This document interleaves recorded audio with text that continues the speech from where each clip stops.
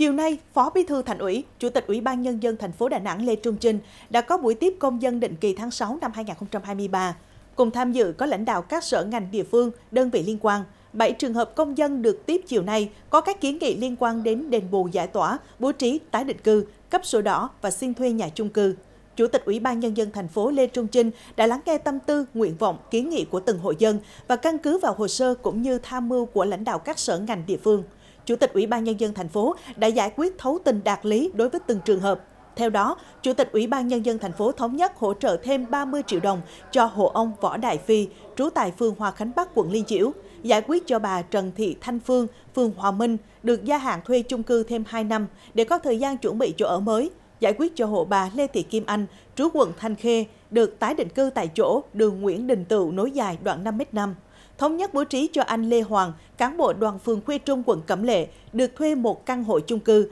và đồng ý giải quyết cho chị Thân Thị Thùy Mai tiếp tục hợp đồng thuê căn hộ tại chung cư Bình An để ổn định cuộc sống. Riêng đối với hộ bà Trà Thị Sương, trú tại phường Hòa Minh, quận Liên Chiểu, là hộ dân bị giải tỏa xin thành phố bố trí thêm một lô đất tái định cư. Chủ tịch Ủy ban Nhân dân thành phố Lê Trung Trinh yêu cầu quận Liên Chiểu, Sở Tài nguyên Môi trường và các đơn vị liên quan ra soát lại toàn bộ hồ sơ, cơ sở pháp lý để giải quyết cho công dân theo tinh thần đúng quy định pháp luật. Tương tự, trường hợp ông Huỳnh Phước Tám, trú phường Hòa Hải, quận Ngũ Hành Sơn, xin xem xét giải quyết việc cấp đổi giấy chứng nhận quyền sử dụng đất. Chủ tịch Ủy ban Nhân dân thành phố Lê Trung Trinh giao Sở Tài nguyên và Môi trường thành phố ra soát lại hồ sơ ngay từ đầu và sớm có báo cáo với Chủ tịch Ủy ban Nhân dân thành phố để xem xét giải quyết.